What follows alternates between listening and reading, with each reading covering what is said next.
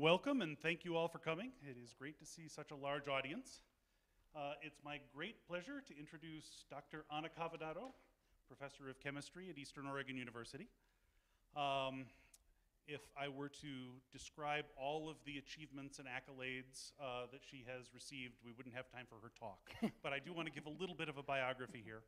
Uh, she received her PhD in analytical chemistry from the University of Bari in India.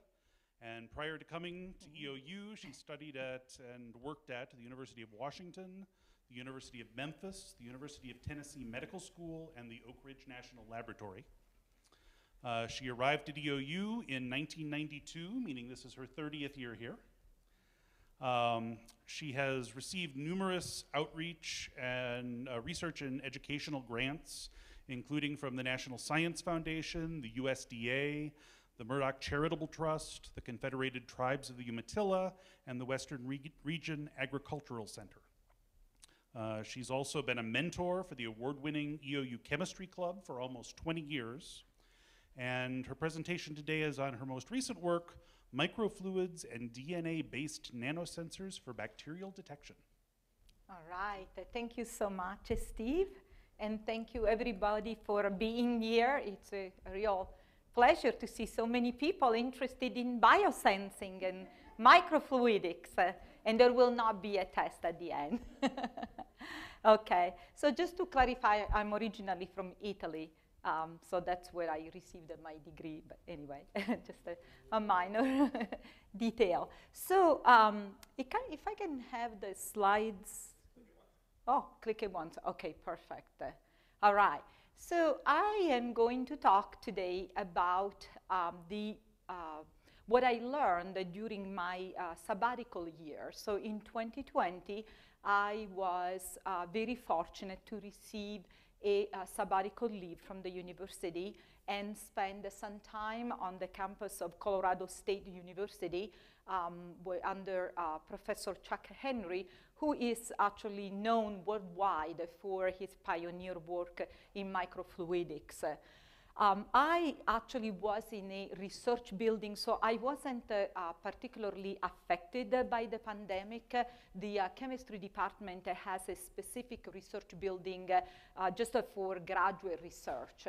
And there were very few people around, so I didn't have to worry about distancing myself or, you know, so it was, it was a uh, really nicely conducive type of environment uh, for this work. And also what worked really well for me uh, in making the most of my sabbatical in terms of uh, then transferring whatever I learned to my students was that I went back and forth from Colorado State here. So I spent some time in Colorado and then I came here and I uh, taught that whatever I had just learned to my students so they were able to implement it and back and forth. And so that really allowed to move forward with this project uh, a lot faster uh, than if I had just uh, stayed the whole time there because there is so much. And, and, I have some props here and I'll share with you, maybe I'll pass them some uh, around or you guys can come over and look at them. But just to kind of understand more about the fabrication aspect involved, which in reality is very simple, at least at the stage that I um, uh, decided to, uh, to use for the purpose of introducing this concept at EOU. So anyway, um, the, I made a little bit of an outline just to, to kind of give the idea for the, the scope of this presentation. So first of all, um, i will share with you why I'm so interested in microfluidics and what microfluidics is all about, and uh, also introduce uh, some simple example of paper based and electrochemically based uh, microfluidic devices, uh, which are the ones that we are currently using here, and also put it in perspective of how the sensor development is really an outcome of a long-term uh, interest that I personally have in um, uh, medical diagnostic and, and biosensing, which I have mostly applied throughout my career to fish disease. So I'll talk about bacterial kidney disease in salmon, which is really the target of um, of the, the biosensor development and the uh, type of sensing that I use, which is based on artificial DNA. So those are the aptamers and, and describe a little bit the electrochemical sensor. We're obviously in the initial stages of this uh, sensor, but I'll share with you what we have uh, uh, accomplished so far.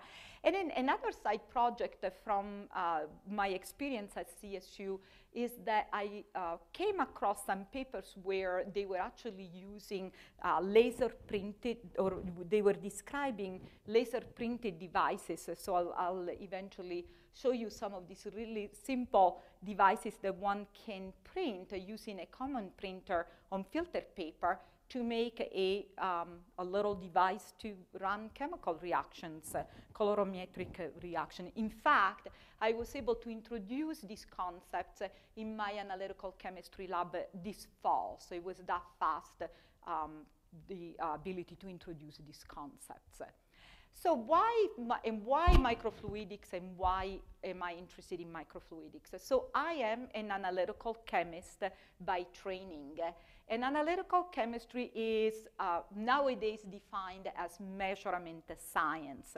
So analytical chemists measure things, characterize matter, uh, measure from larger bulk properties to teeny tiny quantities.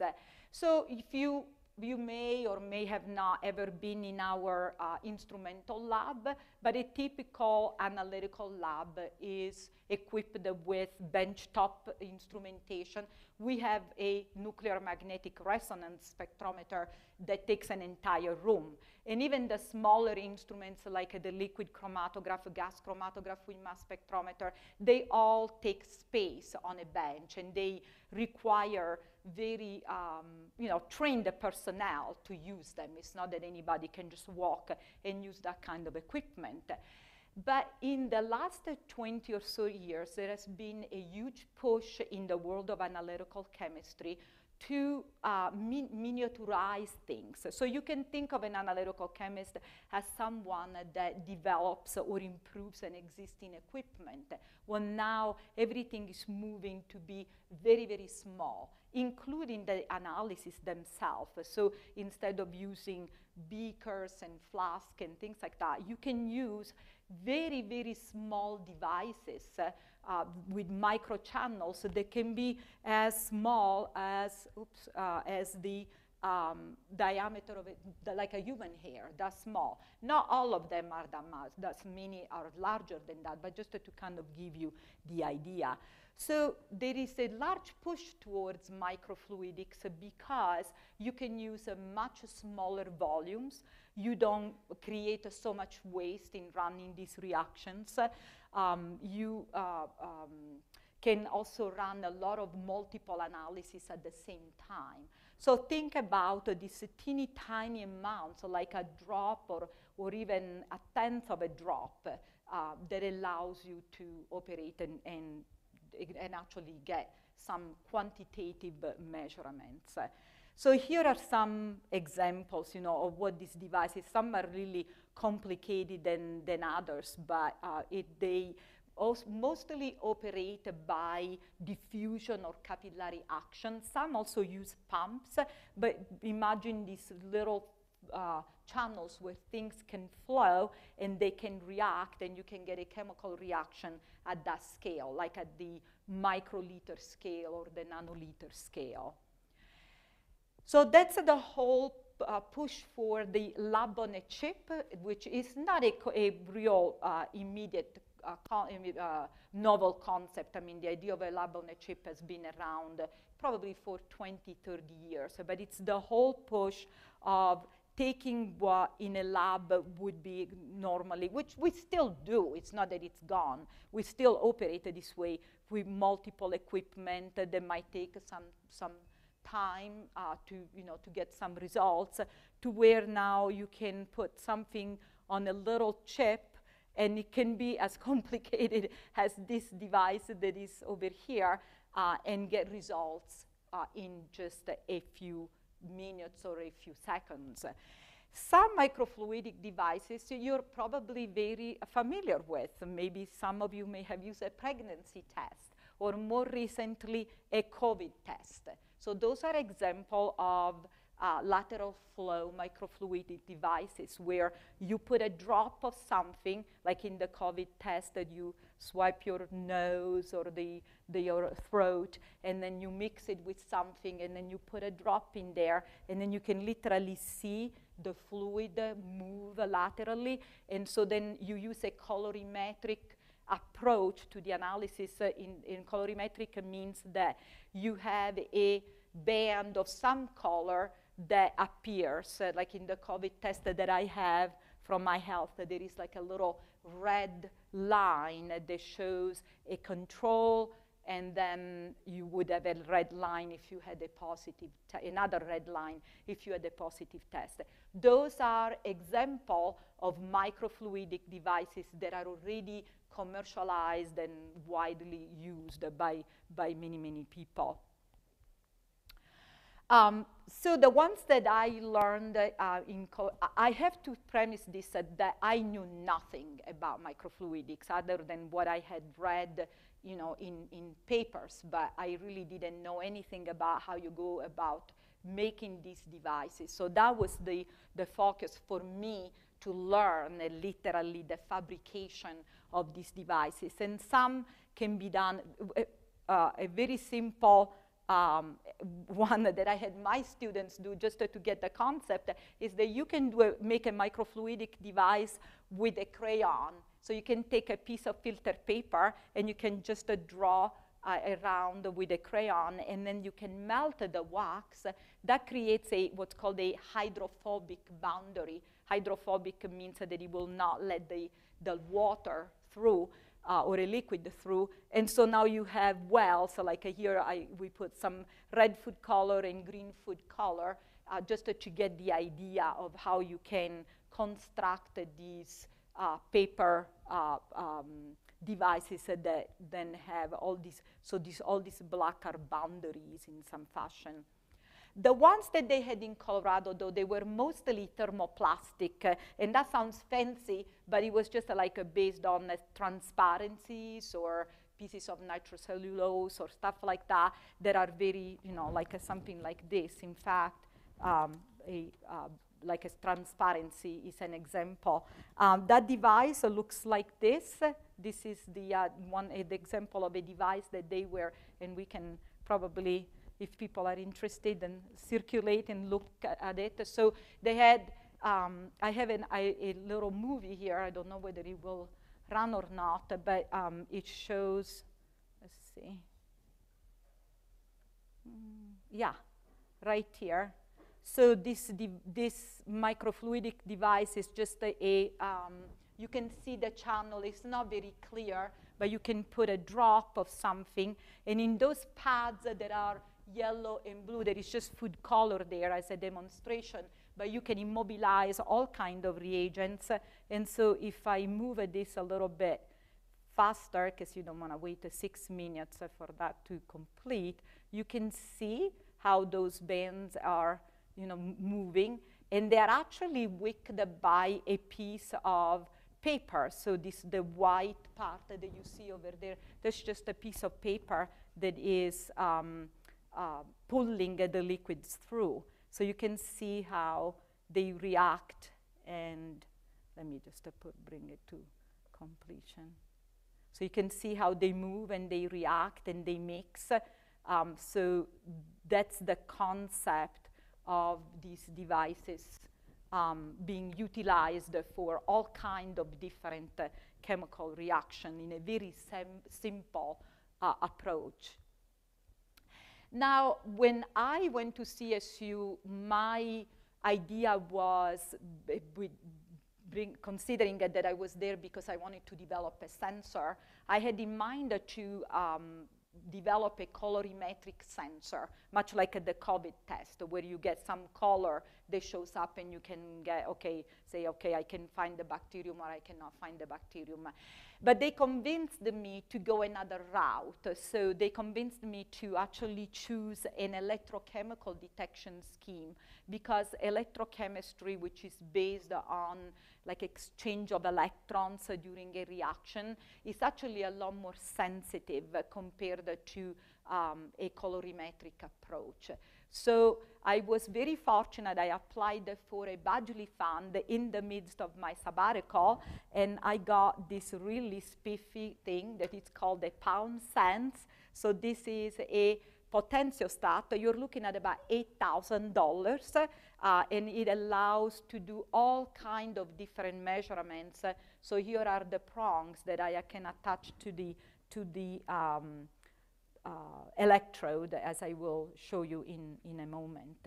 so it's, uh, it, I, I went this route, and I'll come back to this. So to put my, my whole sabbatical in perspective, I needed to talk a little bit more about mm, the, the research that I have been doing. So some of you may have heard the, keynote address from uh, uh, Brady Lehman and Lance Hatch, who are sitting right there. And I have to admit that I use some of their slides, but I am very proud of that because I think that, I, that if a professor can use the material developed by their students, then they've done a good job. So I, am I'm, I'm, I'm happy with that. Um, so for many years, I've been, in, as I said, that the, the, my premises was that I've been uh, interested in diagnostic tools. And in fact, I worked with near-infrared spectroscopy for quite a few years to develop non-invasive methods of analysis to detect disease in fish. And that didn't work very well with bacterial kidney disease because by the time I could detect that the fish had the bacterium, you know, the infection, the fish had deteriorated so much that it, was, it wasn't an early detection. So that's the idea of trying to develop a sensor for early detection. So bacterial kidney disease is um, caused by the Renibacterium salmoninarum. It's a, it's a bacterium, uh, and you can see it affects the fish uh, in, you know, in a uh, not a pretty way, let's say. Um, and it can, can actually be um, very damaging, is particularly like in hatcheries or in an aquaculture facility where you have a lot of fish in a runway. So if there is an outbreak of the disease, then that disease will transmit very quickly. It can also transmit through the eggs to the, to the, uh, the juvenile fish, to the, to the uh, the, the, into the eggs, but also horizontally, like uh, it can spread in water and cause uh, further spreading of the disease. So it's difficult to prevent and control this disease because DRS tends to um, develop uh, resistance to antibiotics. And typically in hatcheries, a fish is treated with antibiotics, but um, it's, it, it, it's, a, it's an issue and it's an issue worldwide.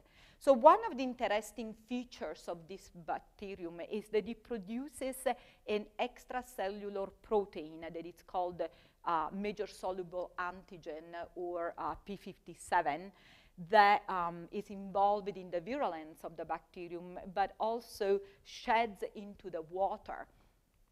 So, um, and also the MSA is uh, a target that is currently used for the detection of the bacterium. So a typical way, and this is done, for example, in the pathology lab in Badgley Hall, in the ODFNW uh, lab, they use uh, what's called the ELISA, this test over here, which is a antigen antibody type of test and that requires, you know, in, involved equipment and skilled personnel.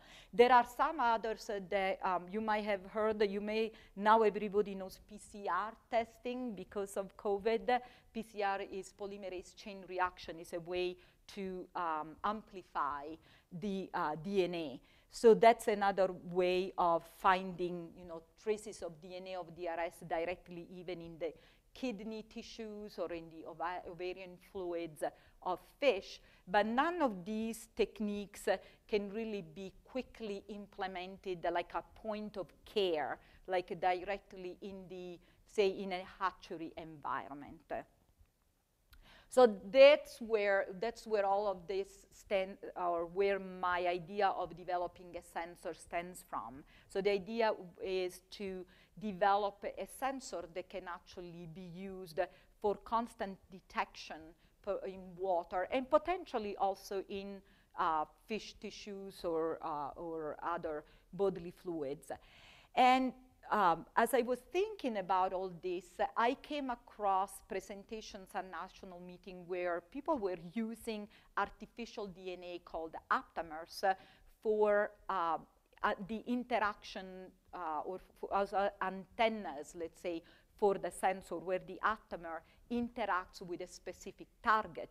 So the, uh, the obvious target for RS is this extracellular protein MSA.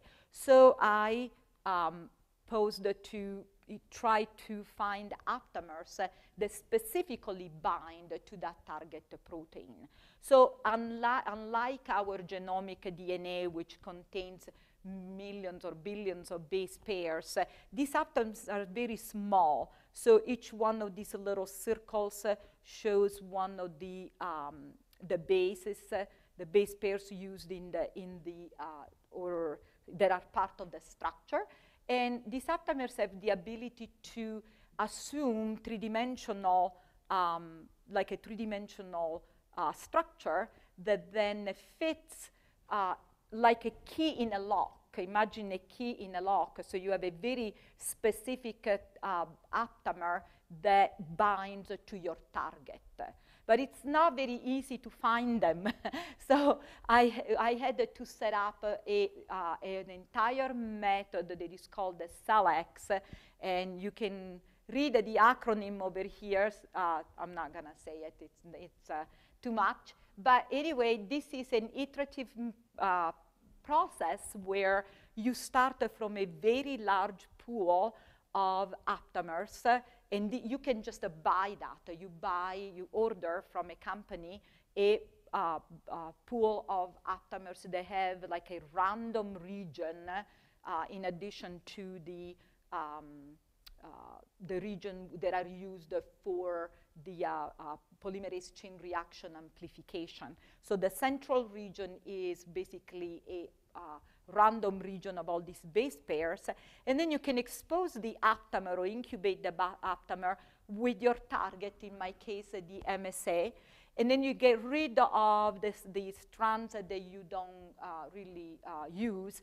And it took me about three years uh, to figure out this process. So you're not looking at something that happens from one day to the other. It's a lot of trial and error and learning particular learning molecular by improvising myself as a molecular biologist because I am an analytical chemist. So fortunately that I have colleagues like Joe and Sean and John Reinhardt that really pitched. So there, there is part of you guys in all of this because I wouldn't have been able without that support from the biology department to set up something uh, of this extent. So in, as I said, in this uh, um, cycle here, you incubate, you get rid of the strands that you don't need, and then you put them back into this cycle for multiple cycles until you uh, obtain a pool that has a really good affinity with your target. And we have checkpoints here, like where we use a gel electrophoresis to make sure that we recover the strands of the right size, that we don't over amplify using PCR and things like that. And then um, once we uh, obtain this pool, we have to clone that DNA. So we insert the DNA in a, uh, another host, like uh, another bacterium, like E. coli, specific type of E. coli. And then we were able to uh, grow a lot of these uh, um, uh, sequences in, in the, um, using the cloning uh, part um, until we were able to sequence the, the DNA, actually obtained the sequence of the um, the different aptamers. and you can see some new equipment here that we, uh, the we just uh, received in Badgley Hall uh, some new uh, sequencing equipment, uh, although this study was done on the uh, original uh, equipment that we have there. So that's the cloning, and once you get the cloning, you get this sequencing here. So like here are different sequences. Each one of these letters means a, is a base pair. So we have approximately, so these are all 80 base pair long, uh, actually, the, I'm sorry, that's just the, the, random region of the sequence. So these are 40 base pairs. And you can see that there are some um, uh, uh, um, what, are, what are called the homology, uh, region of homology. So these are very similar pieces of the aptamer that kind of confirms that all these aptamers have a, a similar structure and affinity to the target. Eventually, we chose uh, one specific aptamer, and by the way, we uh, also have a uh, software that uh, we can input the sequence and then we can get these structures. So that's what they look like um, once they fold. And one in particular, aptamer D, which is right here, for whatever reason, you know, has the very stable and is able to uh, uh, connect to the to the uh, to the target uh, in a very tight type of bond. In fact, another uh, important characterization of these aptamers uh, is to calculate how tight that bond is, and we did not we do not have the equipment um, that it's uh, typically used for this type of assays. So we were able, which took another couple of years, uh, we were able to develop a, a, um, a, a quantitative PCR test and eventually got to calculate the constant, uh, um, the dissociation constant for our aptamer, which is incredibly small. So th that number here, this uh, three uh, times, oops, uh, three uh, nanomolar means that it's in a very, very small amount of aptamer that is not binding. So like in, in the, most of the aptamer is bound to our target. That's what that uh, number means. So what that means is that we were able to identify a sequence that we can actually use as an antenna for our uh, uh, biosensor development. So the, the aptamer is basically at the heart of the sensing that goes on. So that's where I my, my uh, sabbatical come into place. So I went to Colorado and they convinced me that I had to use electrochemistry. So I said, okay, I will learn how to do this.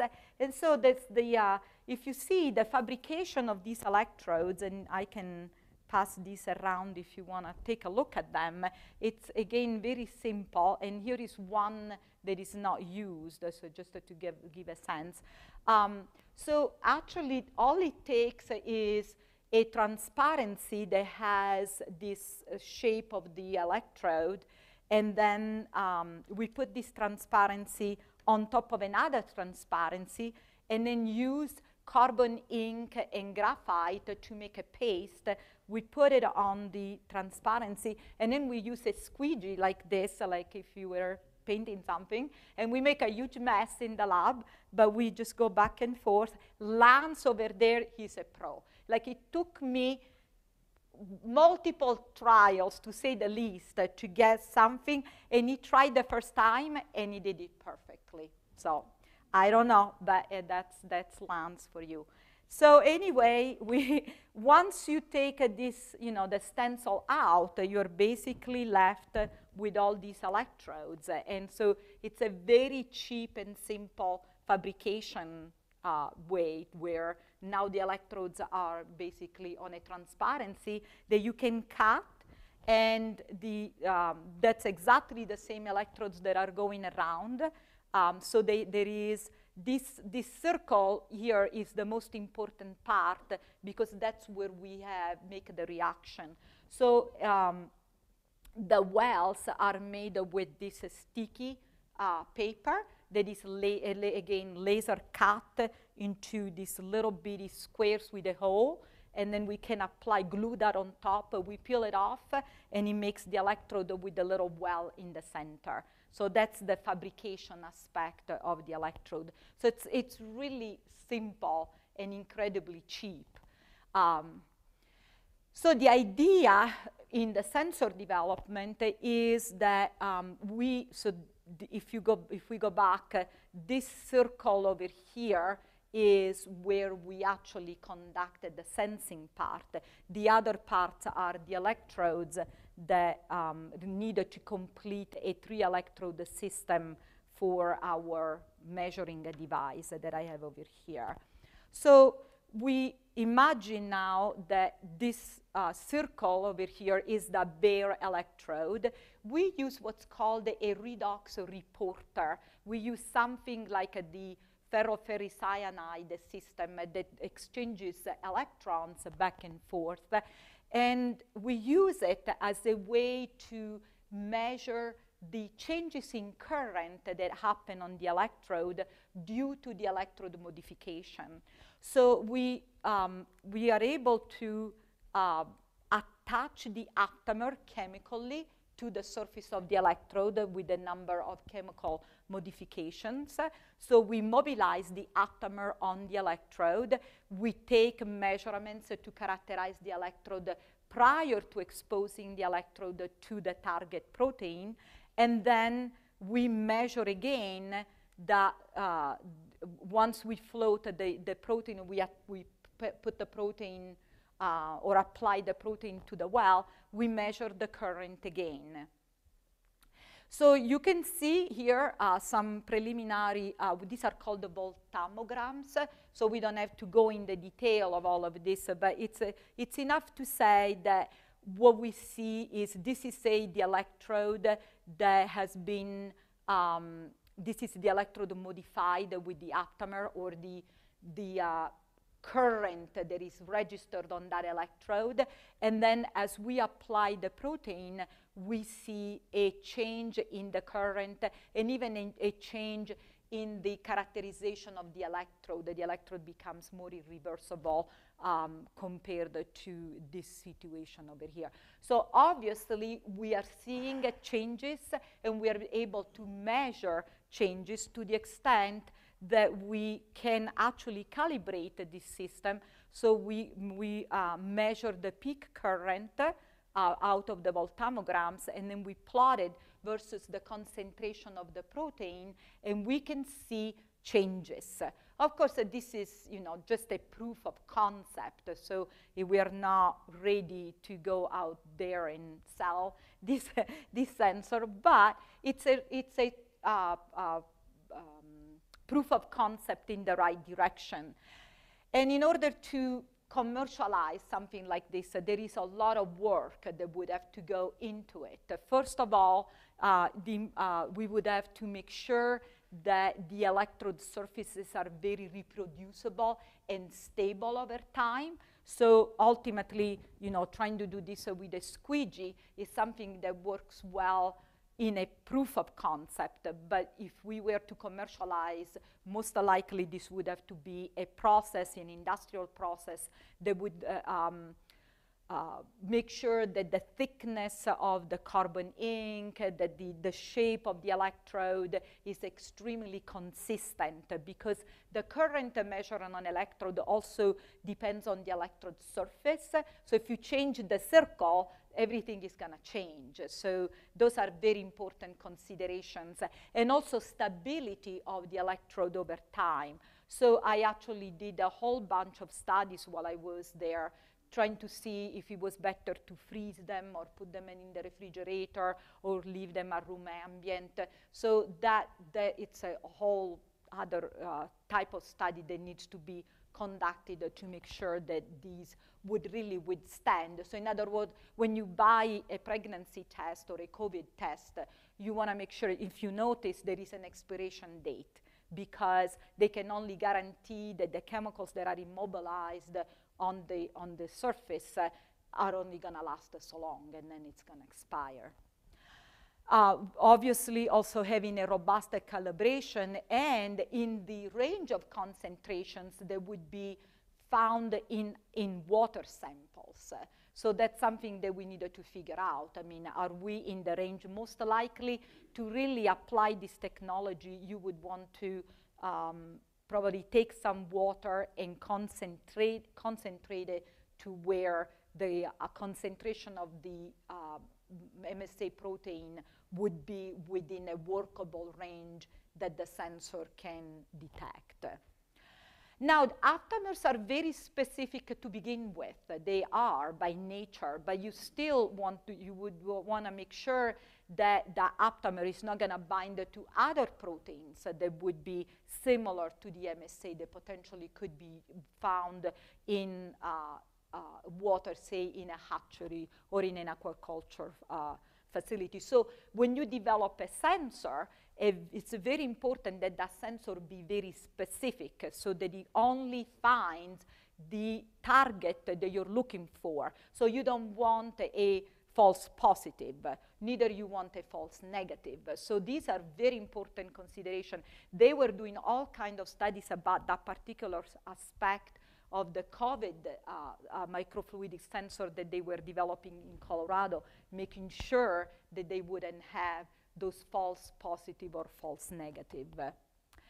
And of course, uh, they, you know, it would have to be something very different from this because uh, this is a $8,000 uh, potentiostat. So it would have to be scaled down maybe to something like a little box that could, where you would insert the electrode and do the measurement, but much cheaper than than something like this that has a bro much broader application in a chemistry lab. So it would have to be something that is simple for somebody that is untrained. You know, you, here we are looking at all kind of ramification of electrochemistry.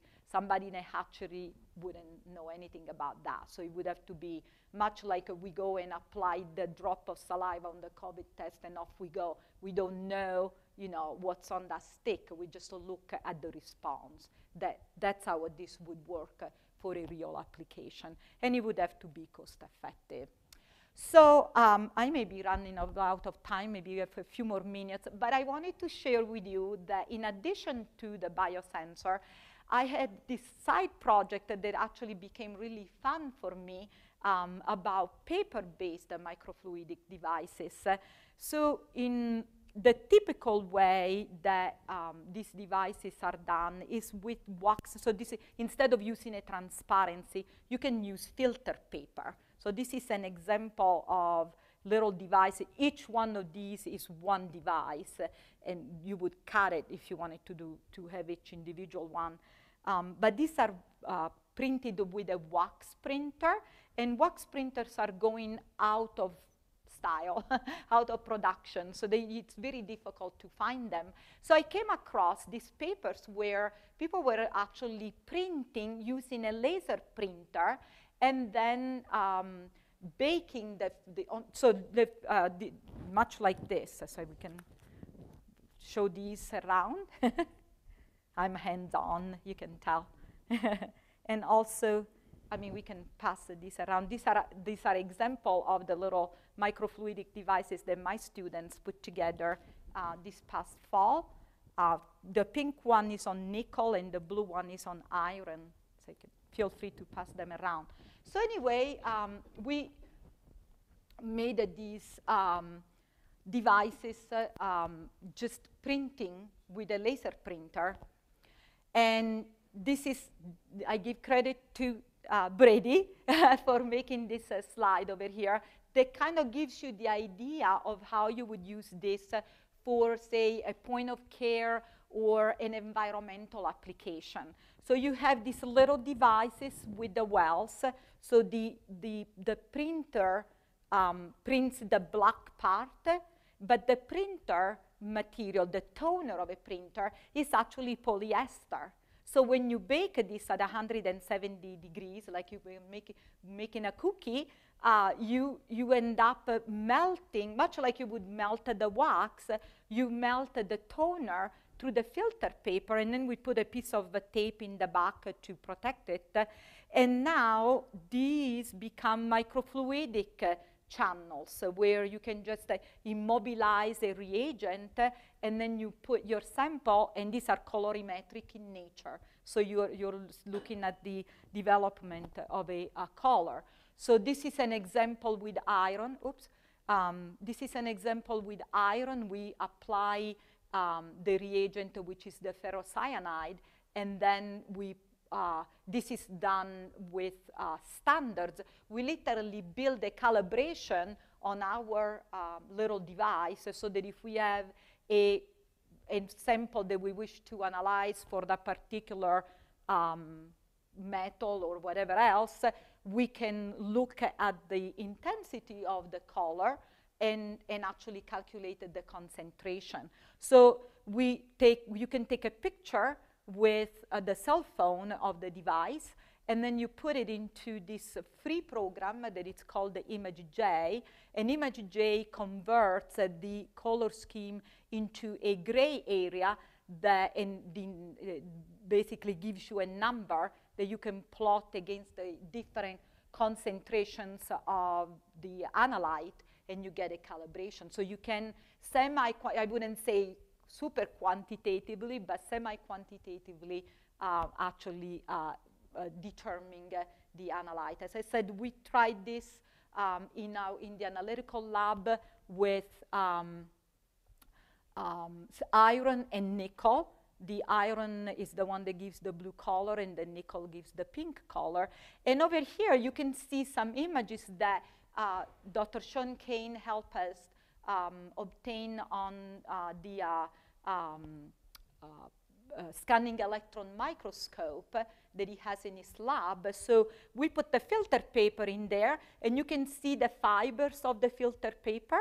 And then we applied, so we printed, so all those little droplets, that's the toner. That's what the toner looks like under a microscope. So they're teeny tiny droplets of, we don't know exactly what it is, but it's mostly polyester. They are covered by patents, but it's mostly polyester. So it, uh, once it melts through, it literally forms these boundaries over here, uh, these hydrophobic boundaries, which are basically this black part all around and so then it, it does it keeps it contained so you have like a like a channel and in fact i even had a little assessment there to see how the students uh, received uh, this lab so all i love to teach my labs uh, as a inquiry based uh, type of uh, you know, research or like a little research project. So this was a way for me to introduce this really in interesting concept of microfluidic, which is the, um, well, it's the present and the future of a lot of diagnostic tools. So, so, it's a great topic to introduce in the, in the classroom.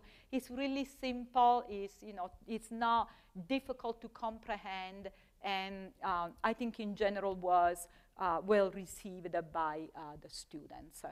So in conclusion, I had a great time in my sabbatical.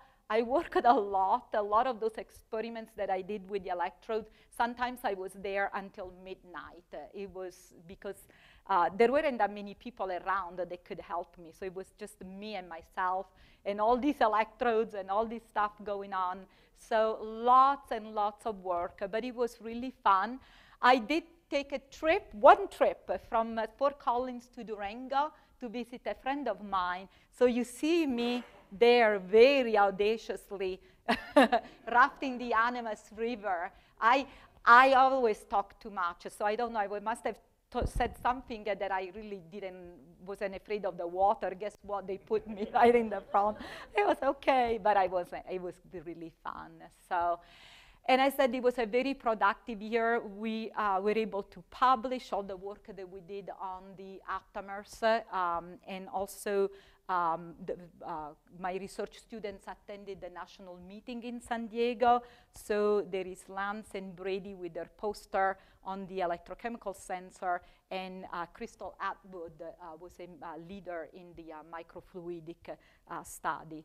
So, and then I did a lot of other stuff, but we're out of time. So I think that with that, I'd like to thank, first of all, Chuck Henry.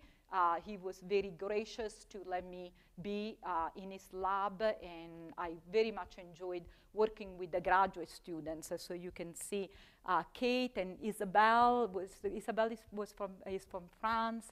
Jeremy Link, who happens, uh, Sarah Ludi went to church with him, so what a small world. Sarah Ludi is one of the, our chemistry, but also math majors, uh, so um, we had that connection. And then my colleagues in the uh, biology department, including Sean. Sean, your name is not up there, but thank you for all the help with the SEM. And uh, Sally G, too, in the ODFNW, a lot of the stuff that I learned about the bacterial kidney disease, the uh, uh, major soluble antigen protein uh, came from, um, from very good discussions with her and EOU for supporting my sabbatical, and of course all the students that put up with me and all the crazy things that I do. So with that, thank you, and I hope I didn't bore you or blow your mind or whatever, but I'll be happy to answer any questions. Uh, so thank you.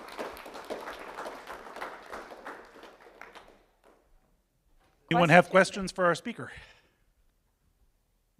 Oh, Richard, oh my gosh. Now I'm scared. Have you investigated the, on the current potential curve, have you investigated the potential part as opposed to just the current? Actually, I have, yes. So there is another way you can, you can I, I recently found some papers where they actually look at the change in delta E, so the anodic and cathodic potential, and now that changes uh, because uh, that is a function of the irreversibility of the electrode. So that there are some papers that are starting to correlate those delta E changes with changes in concentration. Another thing that I did, which I didn't really mention, is that I also looked at capacitance currents instead of Faradic currents um, by just uh, using like a potassium nitrate instead of the ferriferrocyanide reporter and looking at how that capacitance current changes with concentration. So that's another potential scheme uh, that we could use. We just need a bunch of many students working 24 hours a day, and then we can get it all done. Brady, you're, uh, you're graduating, huh? oh, that's Lance's problem uh, next year, yes. Any other questions?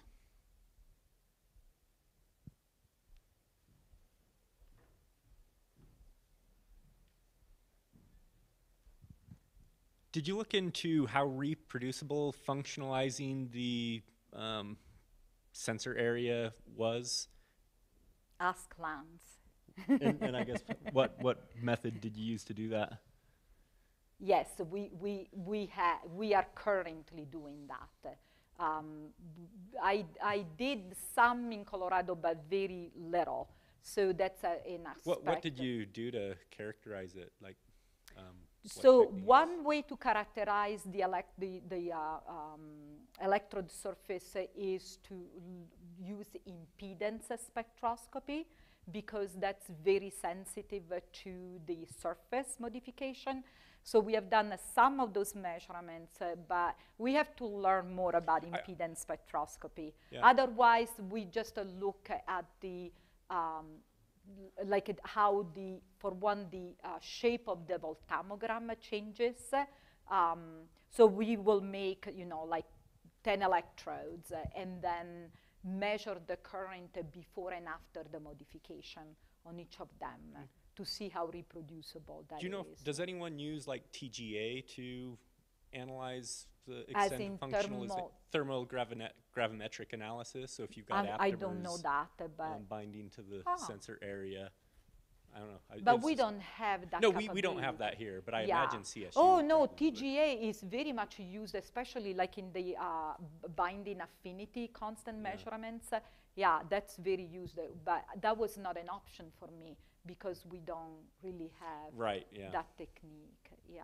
uh, um, surface um, plasmon resonance, uh, SPR, is another one that is used. Any other questions?